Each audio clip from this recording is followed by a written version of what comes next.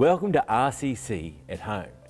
Now, whether you're in our building or watching us online or in the comfort of your home or someone else's home, I want you to know that you're a part of a church that embraces unconditional love and acceptance. Last week we left off with Jesus inaugurating a one sided covenant. Now, this covenant was all on Him, yet it was for the benefit of you and me. And the thing about this covenant, it was very expensive. It cost Jesus his life. Now, you think about death. We're all hardwired to think in the lines, to, to long for eternity. Just thinking about death can make you uncomfortable. Death is something we inherently go out of our way to avoid, and, and we see that with COVID virus, people walking around with masks because we don't want to die. Now, if you don't believe me that death's an uncomfortable topic, next time you're at a backyard barbecue, ask the person you're standing beside, hey, hey mate, what do you plan to get buried in? You watch. It won't take that long till they excuse themselves and find someone else to talk to. It's just have you ever stopped to think what would life on earth be like if Jesus hadn't come to live among us as one of us and establish his kingdom? Well, to state the obvious, we wouldn't be celebrating Christmas every year, but beyond that, when Jesus was born, history was split in two. Prior to the birth of Christ, most people worshipped multiple gods. They were mean, and impersonal, incapable of loving, and yet gave a license to the powerful to do what they wanted to do. Jesus Christ was the greatest catalyst for change our world has ever seen. If he never came, we'll be still living in a world where women were considered nothing more than property. Slavery would still be rife, and justice is something that could be bought and sold like a box of chocolates at Woolies. We looked at this last week. For Jesus to bring about these changes, and the greatest change he brought about was the fact that we could have a relationship with God because the sin issue would be dealt with. And for Jesus to bring about these changes, he had to die. Death never seems natural, you know. It's always been the greatest sorrows of earth. The good news is because Jesus died, we need not fear the finality of death. When Jesus died on that barbaric cross, he removed the sting of death. It's just the followers of Jesus, and there were many of them, not just 12, there were many of them. They didn't know that the day their Messiah died. Most of them, if not all of them, held great hopes of a Jewish renaissance where Jesus would rise to power, take control of the temple, expel Rome from Judea, secure everlasting peace, and in the process, create a worldwide Jewish empire. As the sun began to set on the darkest day of history, the disciples from a distance mourned the death of their king.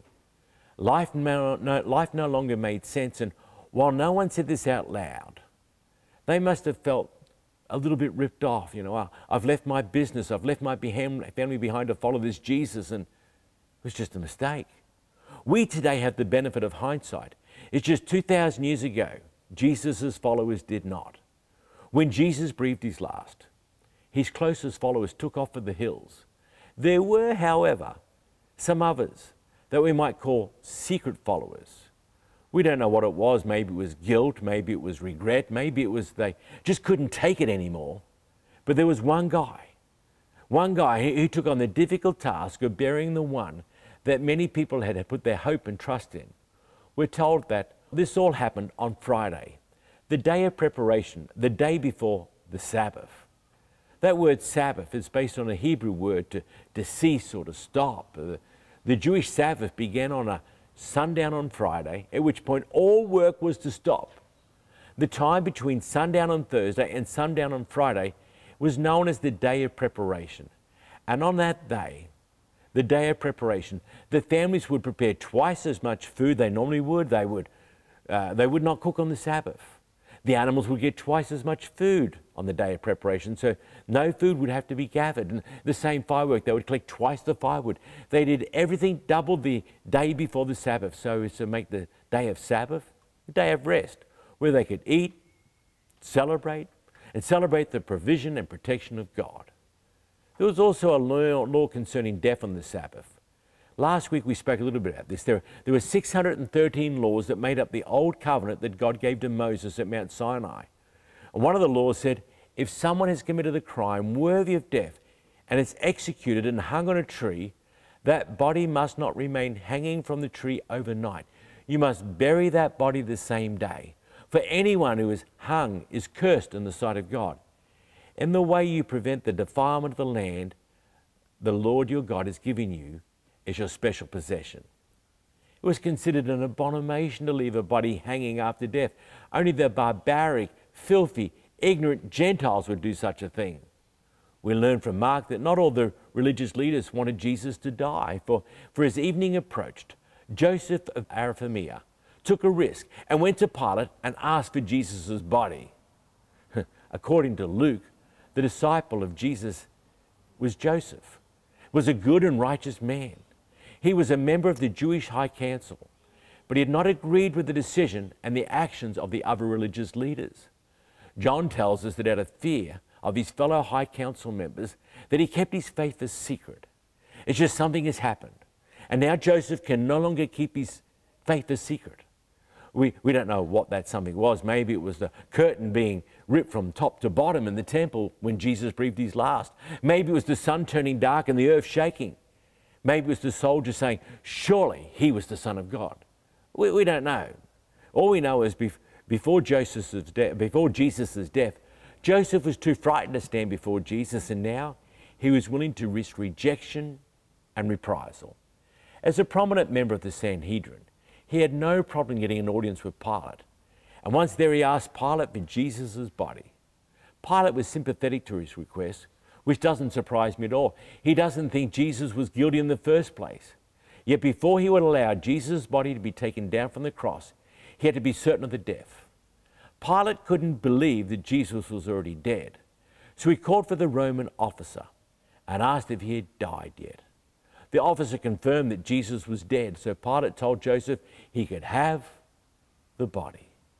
Now remember, Peter is telling the story to John Mark some 30 years after the event. Peter's in prison. He's about to be executed for his faith. So he has nothing to gain in making something up. I can imagine Peter going, John Mark, this is so important. There was nothing to be gained by lying about Jesus' death. Pilate's career depended on the execution of Jesus. The centurion's life depended upon his skills as an executioner and the accurate report he gave to Pilate. John tells us that the soldier pierced Jesus' side with a spear just to make sure he was dead. I tell you why Peter was, went to great lengths to make sure that John Mark wrote all this down. The same religious rulers who conspired to have Jesus executed started spreading all these crazy stories, rumors, you could say. They, they, they were rumors like the disciples came at night, you know, and they overpowered the soldiers that were guarding the tomb and they stole Jesus' body so they could keep this message of grace going. There are other rumors that were spread as well. Rumors like, well, the soldiers didn't do a good job and, and that Jesus was never really dead. He was just almost dead. He was nearly dead, and, and while he was in the tomb, he kind of revived in that beautiful, cool atmosphere. Even today, there are cynics that say Jesus didn't actually die. He just slipped into a coma, was taken down from the cross. Everyone thought he was dead, but in the tomb he, he revived. Let's just look at that for a moment. After scourging, crucifixion, slipping into a coma, and having a spear thrust to his side, Jesus woke up, gathered the strength to move a two ton boulder, slipped past the men guarding the tomb, and then disappeared into the vast underground network that later claimed that he had risen from the dead. That story is just not believable. Everyone knew that the executioner certified the death of Jesus, and Pilate released the body to Joseph. According to forensic science, the soft tissues of a dead body, beginning at the eyelids, stiffened, stiffened from rigor mortis immediately. The process of rigor mortis accelerates if the individual has spent his last or her last hours in a strenuous physical position, a, a strenuous physical activity, Jesus hung on a cross in pain for three hours. So it stands to reason that Joseph and whoever helped Joseph to get Jesus down at the cross had to flex, massage his arms, which were set in an outstretched position so they could realign his body and carry him away. With time running out, Joseph brought a, a long sheet of linen cloth. Then he took Jesus' body down from the cross, wrapped it in the cloth, and laid it in a tomb that had been carved out of a rock. Then he rolled a stone in front of the entrance. After a long and exhausting traumatic day, Mary Magdalene and Mary, the mother of Joseph, saw where Jesus' body was laid. No, no one ever expected to see Jesus again. Peter was in the process of picking up the pieces of his life. He, He kind of felt I wasted everything following Jesus. He was going to go back fishing. Most of the other disciples had walked away from the careers and they didn't have a way to go back to the careers. I think of Matthew. He walked away from collecting taxes. It was impossible for him to go back to that business. So they all decided to try their hands at fishing with Peter.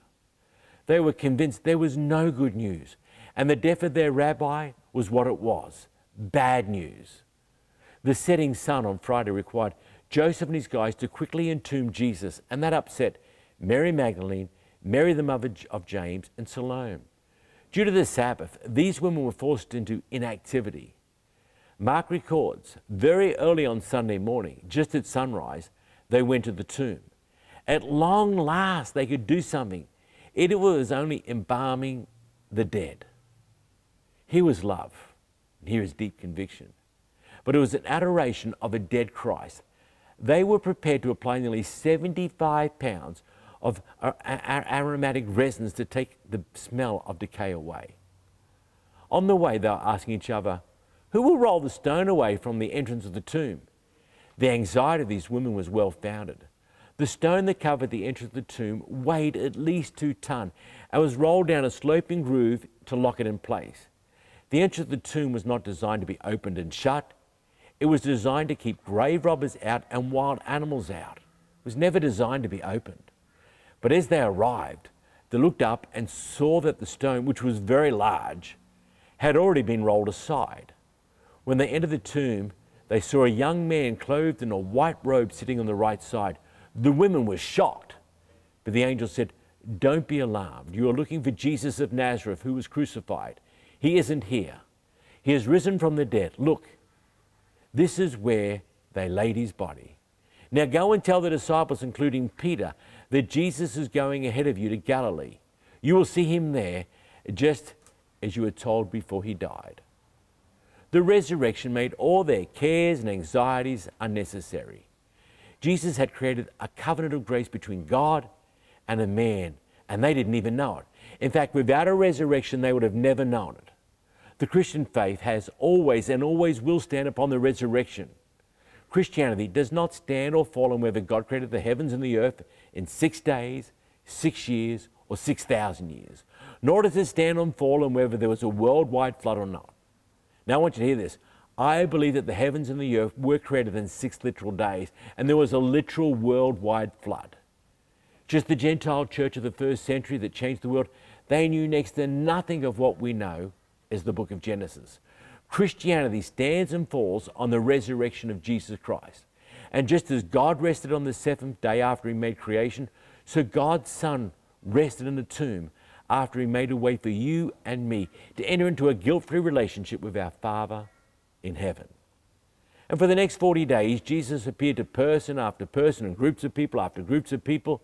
It was reported in one such meeting Jesus had 500 people in that one meeting. They saw 500 people saw the resurrected Jesus. Word was out. Jesus was alive. At long last, the penny dropped for the disciples. They understood what Jesus meant when he said, The time promised by God has come at last. The kingdom of God is near. Repent of your sins and believe the good news. In this new covenant, God would not be tucked away behind a curtain at the back of a temple. In this new covenant, God would send His Spirit, the third member of the Trinity, and His Spirit would take up residence in the people that put their faith and trust in Jesus Christ. He'd become the driving influence on how they lived their lives. The covenant established by Jesus had just one more thing to do before he could return to the Father. So he gathered his followers together one more time. He wanted them to know, just like he wants you and me to know, that this good news is so much more than going to heaven one day when you die. The good news is that the Spirit of God is going to empower people to be God's representatives on planet Earth. Listen to what Jesus told them Go into all the world and preach the good news to everyone. And that is why at Runcorn Christian Church, we have a vision that goes way beyond ourselves. 10% of our offerings go straight off the top. They just go to missions to take the gospel into countries and kingdoms and situations where darkness reigns. That's why yearly we do a missions offering that 100% goes to missions. But let's put the, just push the missionaries to the side for a moment. Let's talk about you and me for a minute. There is a power at work when you preach the good news, or, or put another way, there is a power at work when you tell someone what God has done in your life. God is not calling you to defend the good news, He's calling you to proclaim it. Jesus Christ is still the answer to the world, and His blood that He shed at Calvary 2,000 years ago still forgives sins and it still changes lives. Jesus went on to say, Anyone who believes and is baptized will be saved. Now, Matthew tells us that we're to be baptized in the threefold name of God the Father, God the Son, and God the Holy Spirit. That, by the way, is not a slogan, it's not a jingle that gets added to a prayer. It's like a magic formula that makes God do stuff that we want Him to do. Baptism doesn't even save you, it's God's grace, accepted through faith in Christ that saves you. To be baptized in the name of the Father, the Son, and the Holy Spirit is to be immersed in the nature of God. We don't get this today, and the reason we don't get this is that our names have very little to do with our nature. Uh, you know, my dad's name, David, meant beloved one. My name's Wayne, it means maker of wagon wheels. Well, I can tell you now, I have never made a wagon wheel in my life.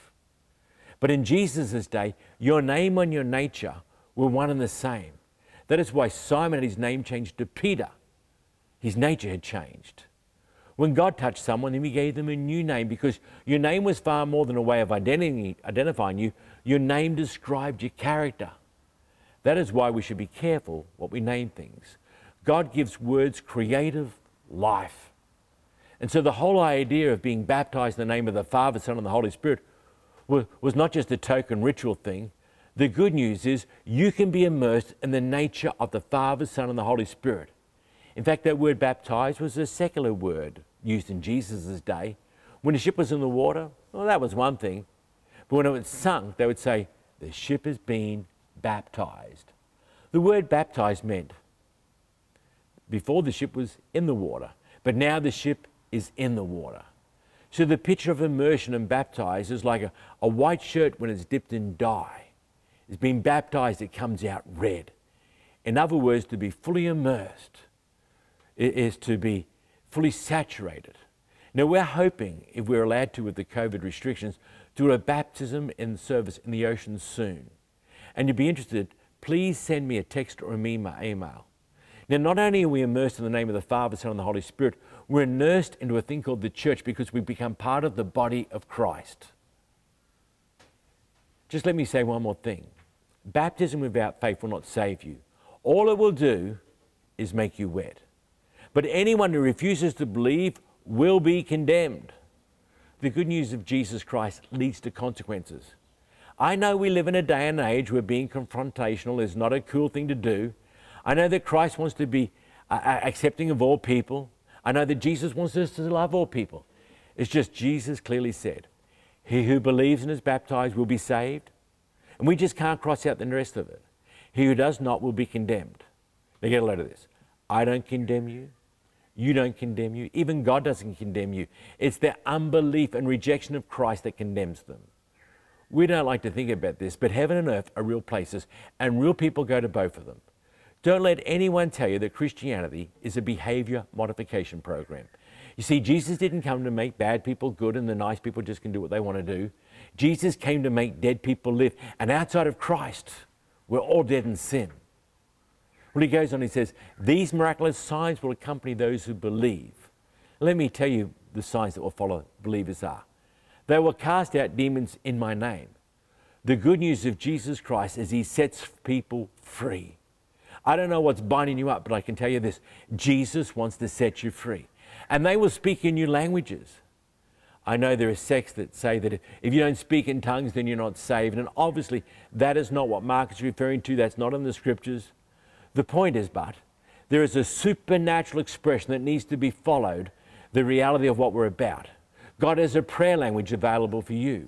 Paul picked up on this thought years later and he said, You know what, guys? You're all struggling, but can I tell you something? I'm speaking in tongues more than you all. And I tell you what, when I speak in tongues, I'm building myself up. Have you ever felt that you needed encouragement and building up? Practice your prayer language. If you've never received what we call the baptism of the Holy Spirit or a prayer language, today, get alone with God and ask Him to give you such a prayer language, just to worship Him and praise Him. Let the Spirit of God empower you. Then they'll be able to handle snakes with safety. Now, obviously, we're not called to be snake catchers.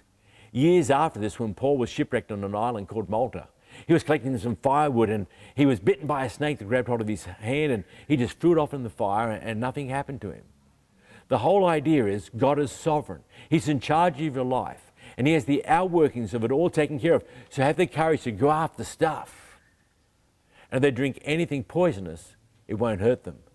Doesn't mean you should start drinking poison. Jesus is saying there may come a time when someone's going to try to do you harm. 2,000 years ago, when someone wanted to harm someone and take them out, they would poison them. We hear of that taking place every now and then in Russia. Kings and rulers at the time became paranoid about someone trying to poison them, so that employed people to taste their food and drink their wine before they would eat their food or, or drink anything. Jesus is saying, You don't have to walk through life nervous and fearful about what might happen to you. They'll be able to place their hands on the sick and they will be healed. We still believe that. That is the good news. The message, it transcends time and it transcends culture. That's why in every service we pray for people. We believe God still heals people today. At times all but gone. Let me give you some takeaway thoughts. In the Old Testament, God chose the nation of Israel to be the light to the nations. They were blessed by God and they were blessed to be a blessing. They failed in that objective.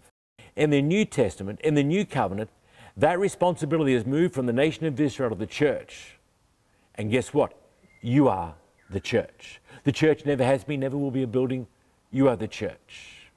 In fact, Peter later on told us this. He says, But you're a chosen people, a royal priesthood, a holy nation, God's special possession, that you may declare the praises of him who called you out of darkness into wonderful light. That leads me to my second takeaway thought. What is God trying to tell you? Could it be there's an area in your life the Lord has been desperately trying to speak to you for some time, but for some reason you're just not hearing what He's saying? Jesus told His disciples time and time again, Hey guys, I'm going to die for the sins of the world. Yet they were so caught up with their agenda that they couldn't hear God's agenda. They couldn't hear our Lord's agenda. So here's some homework for you sometime today. I want you to turn your TV off, turn your smartphone off, put away your computer, put away your laptop, put it all away. Get somewhere where no one else can talk to you and get yourself in a distraction free place and say, God, and then insert your name. Hey, it's Wayne Brooker here. God, is there something you've been trying to talk to me and I haven't been listening? Because if you are, I'm all ears. Just sit there, worship Him, create some space and create some time. You'll be amazed what God will say. You'll be amazed what you'll hear from God when you create some space. While you're there, if you've never received the baptism of the Holy Spirit, why don't you ask God to baptize you with His Spirit? And if you have, when was the last time you spent some significant time just praying in that prayer language? It'll build you up, you know. There's so much happening in our world that's trying to pull us down. And if you don't have that prayer language, say, Lord Jesus, would you baptize me right now in your Holy Spirit? Would you give me this prayer language? Last takeaway thought and this series will be over. God still heals people today, and He does so when we pray for people to be healed. You don't hear of God healing people that haven't asked for prayer. So if you need prayer, why not ask? And when you're just talking to people, if they say they've got a problem, offer to pray for them. You might be amazed what would happen if you just prayed for someone who has a need. Anyway, God bless and looking forward to seeing you next week. Thank you for joining us online at Runcorn Christian Church. We're continuing to grow our online presence, so please check in frequently on our website and social media platforms to stay up to date with the latest services that we have available. Make sure you subscribe to this channel so you don't miss a single video. To support the ongoing work of Runcorn Christian Church and partner in our vision, we'd like to invite you to give electronically. You can make a direct debit transfer using the account details that are on the screen and also on our webpage. Thank you again for joining us today and God bless.